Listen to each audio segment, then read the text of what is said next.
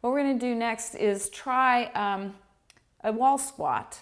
So Brad is going to step uh, about a foot away from the wall and then lean his hip back to the wall and bring his trunk vertical.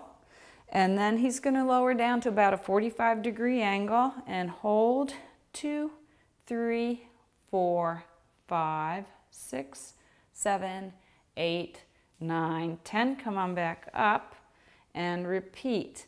What you want to work up, go ahead and go back down to is about a one minute hold. And this is difficult to do because we've got gravitational pull wanting to pull him down onto his bottom and come back up. So how does that feel? Is it getting more tiresome as you go down? Mm. Yeah. Go ahead. Two, three, four, five, six, seven, eight, nine, ten. Ideally, if you're going to try these exercises, it would be a good idea to try it next to a kitchen counter because sometimes the legs give out and um, you don't want to fall to the floor. The other thing is start with a very low squat and progress it down.